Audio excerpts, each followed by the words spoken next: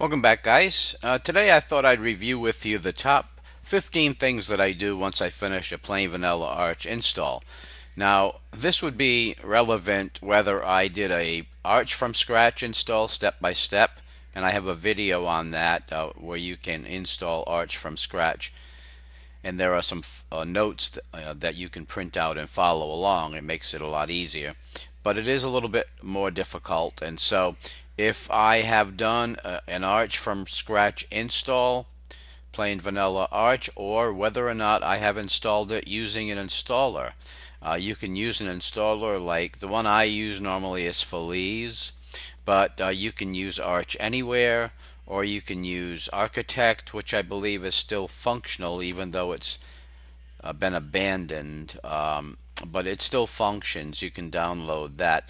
Uh, again, the one I use lately is Feliz. It's very intuitive. It's very easy to follow. And once you finish that, you end up with a plain vanilla Arch install. Now, this is a plain vanilla Arch install that you're looking at.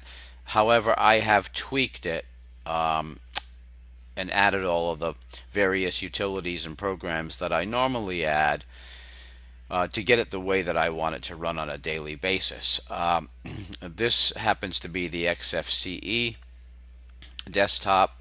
Got the whisker menu. I've installed Infinality fonts. I'm not going to cover Infinality fonts today, um, and I, am not going to cover gaming today. I'll do that those in a separate video. But um, let's go through the top 15 things that I do, uh, even before I do any theming. This is right off the bat. As soon as you boot into your fresh install, uh, these are the things that I do. First thing I do is add myself to the sudoers file. Now I'm going to uh, make this the all these notes available to you. There'll be a link to my GitHub site where you can download this list and print it out and use it.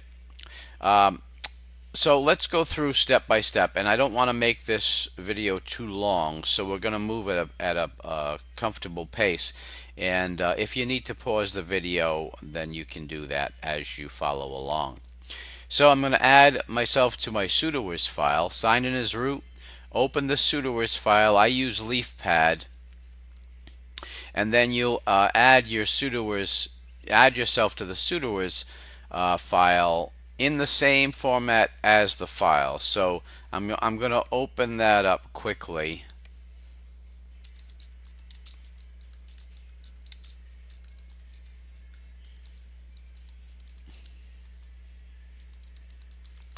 And if you scroll down to the sudoers section, you can see I've added myself. Normally it would cut off right about here. Um, so you just add your username and then this same format and then save the file, that will add that user to the sudoers group and give them sudo permissions. So I'm going to close that out. Once that's done, uh, install the gk sudo command, which is a graphical front end for the su command. And once you install that, then you can use the gk sudo command. Let me go ahead and save that. Okay, so then we're going to sync our fastest mirrors. So we're going to add the reflector application. sudo pacman-s reflector. You can copy and paste these commands in. So I've got three sample commands. One would verbosely rate and sort the five most recent, recently synchronized mirrors by download speed and overwrite the file, the mirror list file. So you you would just copy and paste that into your terminal and it would have the desired result. Now I've got two other examples here. The next one sorts the 200 most recently synchronized HTTP or HTTPS mirrors, sorts them by download speed and overwrites the file. Again, you would just copy and paste this command. And the last one um, is basically just the United States mirrors and you would copy and paste that in. Once you finish that, you're going to update your Arch install. sudo pacman-syu. This is the command, the way it's uh, listed in the Arch Wiki. That's the recommended update command. You can change that. It's you can add dash SYYU. There are various configurations, but this is the recommended command to update your system in the Arch Wiki. sudo pacman dash SYU. You're going to add Yaourt to pacman. So it's going to be sudo leafpad and I'm going to open up the file just so you can see what it looks like. So copy and paste that in. So if I copy and paste, it's going to ask for my password and then it's going to open up LeafPad. I'm going to scroll down. Now you'll want to add this section right here. So you want to copy and paste this section to your file. Now, these entries down here for Infinality Bundle, you won't see those in yours. Um, yours will cut off at multilib. So you're going to add the Arch Linux FR section right below multilib. Then before you save the file, uncomment multilib. Normally these have comments.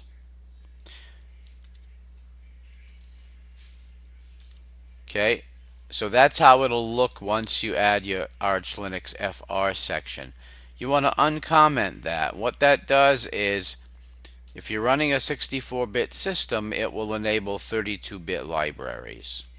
And that's important when you get into gaming and things like that. So you'll want to uncomment your multilib and add your Arch Linux FR and then go ahead and save the file.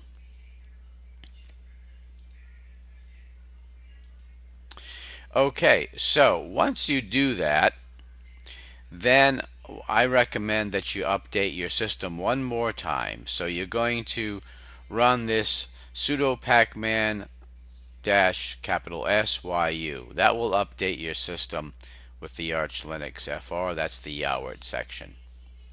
So once you do that, then you can install your wireless drivers. Now, your, your wireless drivers may have been configured right out of the box. I know my dongle, my Wi-Fi dongle works right out of the box, but my Broadcom wireless doesn't. So uh, this is the point where I usually add my Broadcom wireless. Now, you'll need to reboot in, in order for those drivers to kick in. Okay, so once you have your Broadcom wireless installed, um, then you're going to add the update utility to your system tray. And that's this little star down here in my system tray. Um, my system is up to date as you can see.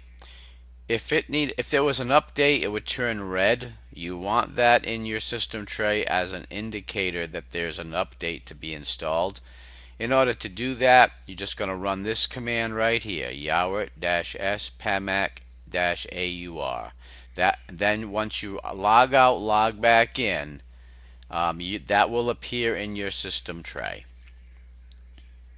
If you want to add the downgrade ability, which I usually do because of OpenShot, OpenShot doesn't work in its newest configuration. So I always I always um, downgrade OpenShot. Let me show you how that works. Uh, OpenShot right now, if I click on that, let's see, it is the version 2.2.0. It doesn't work well at all. It's jittery, it doesn't process the files properly. So I roll it back and the re and how I'm going to do that, you're going to in order to be able to do that, you need to install downgrade through Yaourt, and that's a package, Yaourt dash capital S downgrade, and then you had to you have to install xpack, sudo pacman dash s xpack. Now, when once you install those two, you'll have the ability to downgrade a package. So let me show you what I what I what I mean by that. If I type in downgrade OpenShot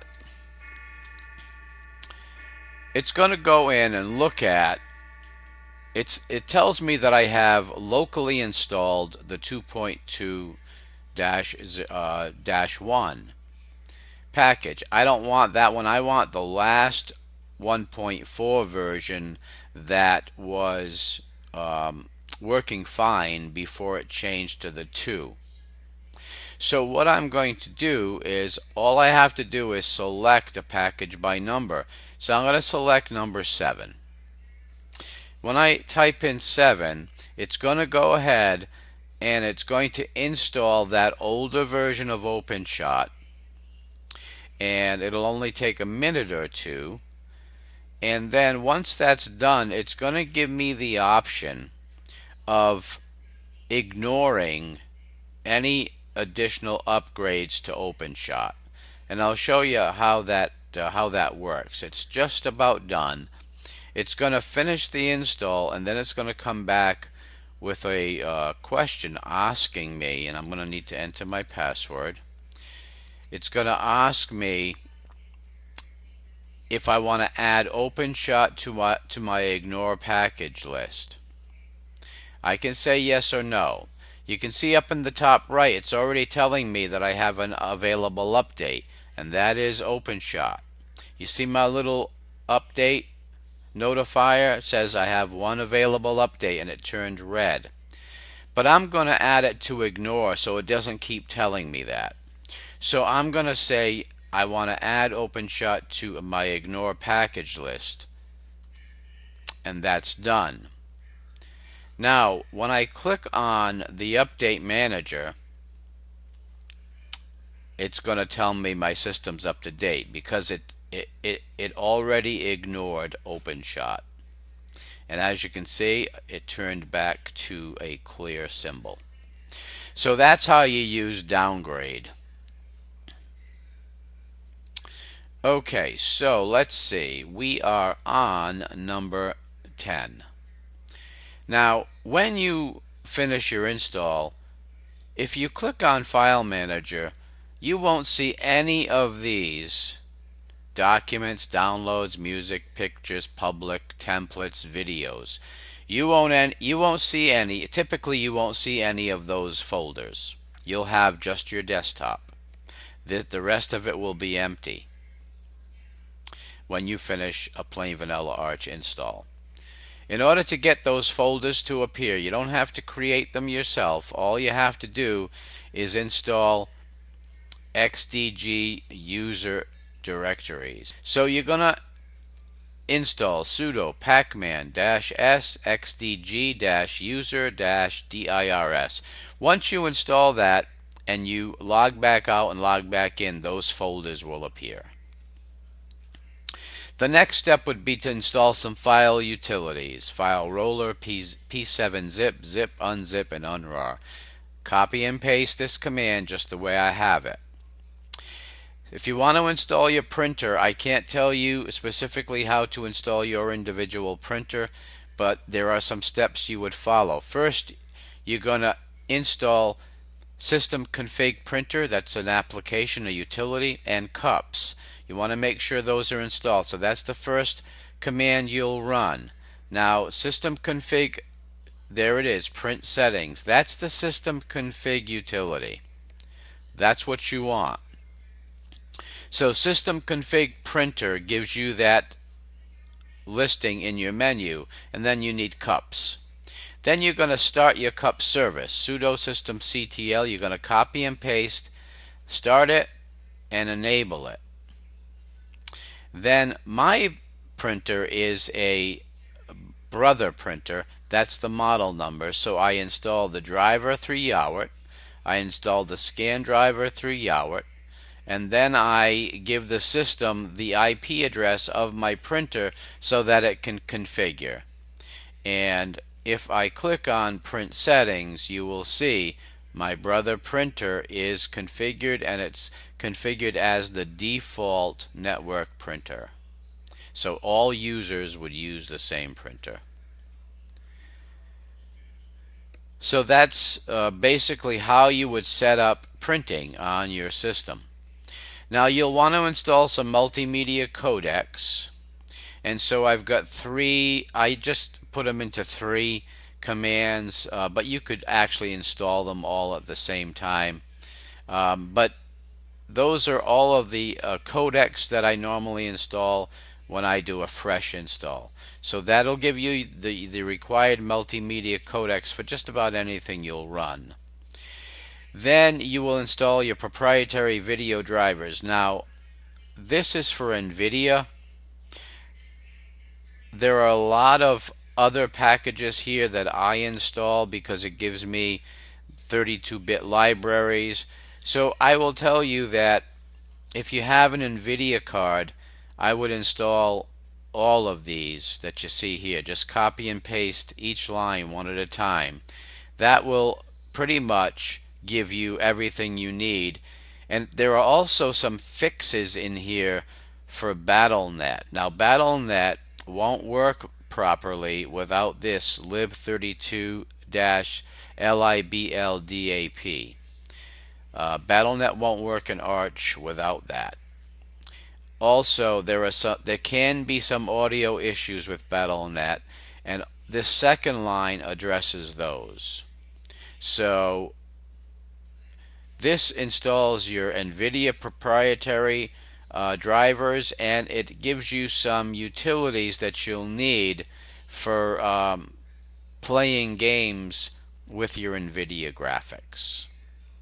So those are, I, I install those with the two separate commands right there. And then also you will do you will install your audio apps. I usually install Pulse Audio, Pavu Control, Pulse Audio ALSA, and ALSA Utils. Now, once I'm done, then my system, and I, and I usually reboot once I finish all this. Once I do that, then my system is ready for tweaking. For me, it's the best system that I use because it's built by me.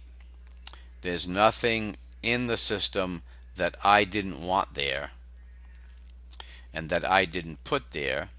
So it's got everything I need and really nothing that I don't need.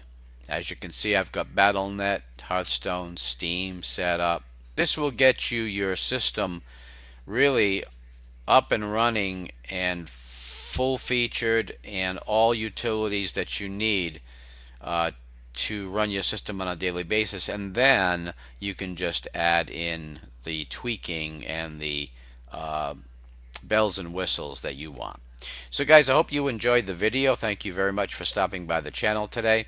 Please rate, comment, and subscribe, and I will see you soon. Take care.